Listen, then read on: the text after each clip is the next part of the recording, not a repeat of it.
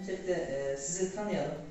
E, kendinizi tanıtmanızı rica edeceğim. Efendim, e, ismim Lütfü Doğancık, Afyonkarahisar Müftülüğü İmam-ı Azam. Kalemi. Hı hı.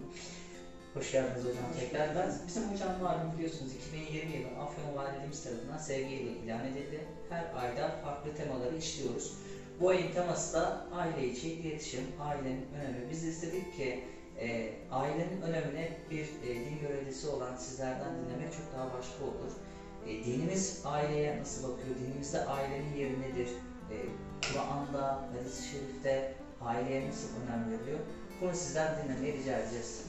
Efendim, e, bizim dinimiz ilk önce e, bir hadiste, bir e, Kur'an-ı Kerim meali ve hadiste inşallah bu konuya açıklamaya çalışalım. Cenab-ı Allah Kur'an-ı Kerim'de Rum suresinin 21. ayeti kerimesinde mealen kendi ile huzura erişesiniz diye sizin için eşler yaratılması ve aranızda sevgi ve merhamet var etmesi, var etmesinde Allah'ın varlığının ve kudretinin delillerindendir. Şüphesiz bunda düşünen bir toplum için ibret var, ibretler vardır buyurur. Ee, Fahri Kainat Efendimiz Aleyhisselatü Vesselam hadisi şeriflerinde sizin en hayırlınız ailesine karşı, eşlerinize karşı hayırlı olanınızdır buyurur.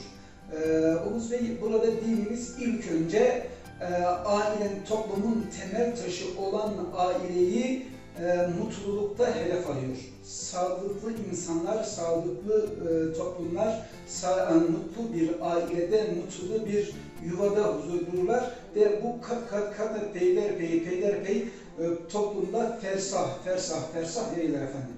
Bunun için e, ailede mutluluk bizim dinimizde olmazsa olmazlardandır.